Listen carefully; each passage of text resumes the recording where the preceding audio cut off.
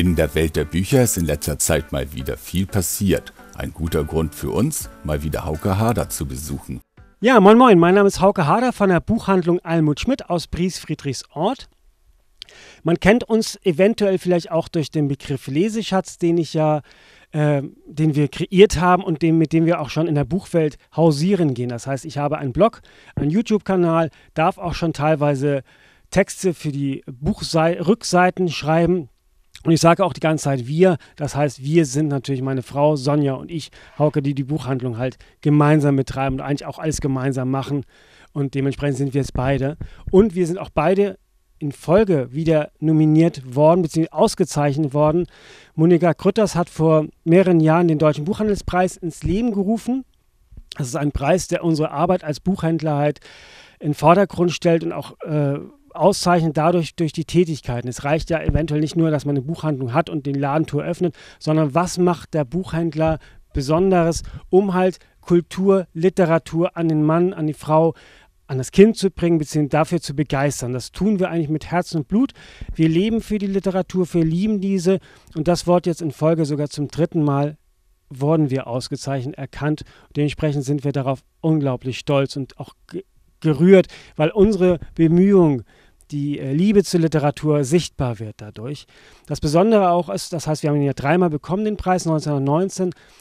Haben, äh, 2019 haben wir ihn das erstmalig bekommen, 2020 dann auch. Anführungsstrichen den normalen Preis, der schon unglaublich toll ist, aber es gibt drei Kategorien. Das heißt, herausragende Buchbehandlungen, dann gibt es noch die besonderen, heraus, hervorragenden Buchhandlungen und dann gibt es die besten Buchhandlungen. Also diese drei Titel werden vergeben. 118 Buchhandlungen wurden jetzt zum Beispiel in diesem Jahr ausgezeichnet. Fünf davon sind besonders herausragende Buchhandlungen und dann gibt es noch drei beste Buchhandlungen. Wir gehören zur zweiten Kategorie, das heißt, wir sind in Deutschland eine von den fünf Buchhandlungen, die auf, äh, anhand der Jury besonders hervorragend sind. Das macht uns natürlich sehr stolz und äh, wir waren auch bei der Feierlichkeit. Die Preisverleihung fand in Erfurt statt. Monika Krütters hat als Gastgeberin mit der Jury zusammen uns eingeladen. Dementsprechend hatten wir auch mal, danke auch dafür für das Verständnis an alle Kunden, mal zwei Tage den Laden zugehabt und sind nach Erfurt gefahren. Bei so einer Feierlichkeit wollten wir natürlich dabei sein und haben einfach mal uns dort feiern lassen dürfen. Das war unglaublich toll. Also wer, wer mag bzw. wer möchte, seh, sich anschauen möchte, was ich so betreibe, kann mich gerne in den sozialen Medien finden. Man findet mich unter den Begrifflichkeiten Leseschatz, Hauke Hader, Buchhandlung Schmidt. Ich glaube, da wird jeder sehr fündig.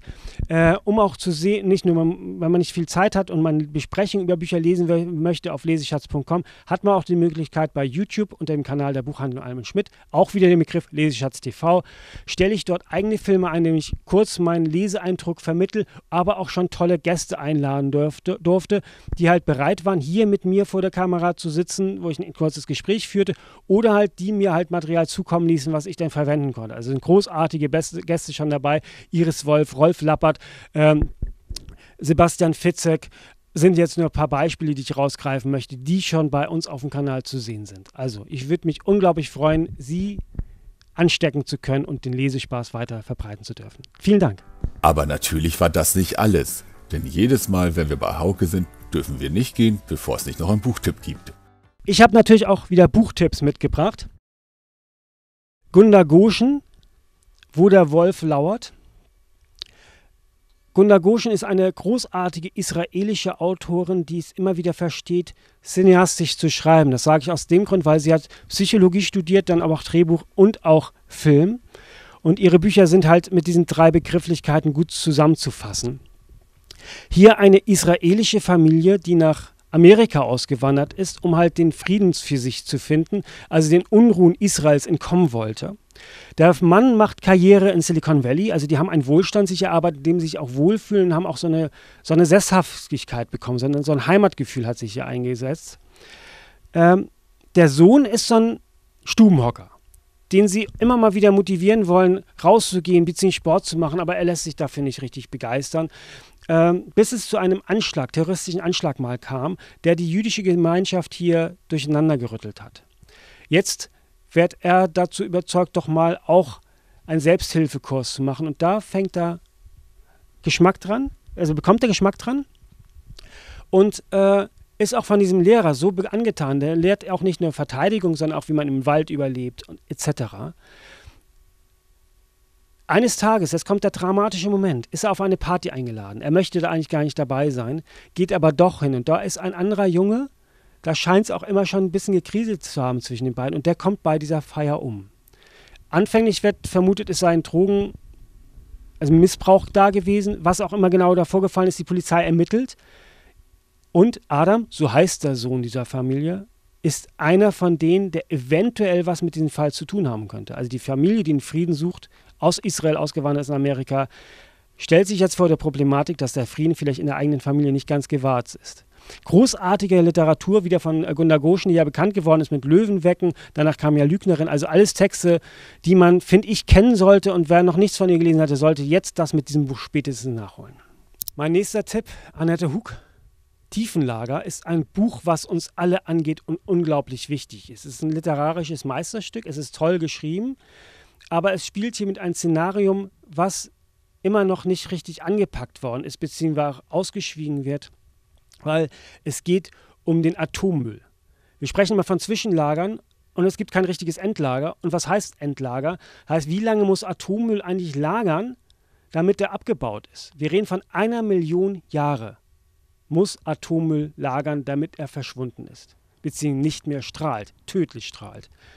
Damit spielt Annette Huck das heißt, sie, die Protagonisten, es sind fünf Protagonisten in diesem Roman, aus verschiedensten Hintergründen, sie kommen aus verschiedensten Ländern, sie haben auch verschiedensten Wissensgrade, das heißt, der eine ist Atomphysiker, die andere ist Krankenschwester, die andere ist Linguistin etc., die per Zufall auf die Idee kommen, da zu agieren. Denn die Frage stellt sich ja, Millionen von Jahren später in unsere Zukunft, was sind das für Menschen? Was sprechen die? Können sie unsere Sprache überhaupt noch verstehen? Wie können wir die zukünftigen Generationen vor dem Müll, den wir hinterlassen, warnen? Spannendes und wichtiges Thema, was immer totgeschwiegen wird und nicht angepackt wird. Der Roman macht es endlich. Es ist so, dass diese Protagonisten auf die Idee kommen, wie können wir das in die Zukunft transportieren? Was hat sich immer durchgehalten? Das heißt Kirchen und Religionen.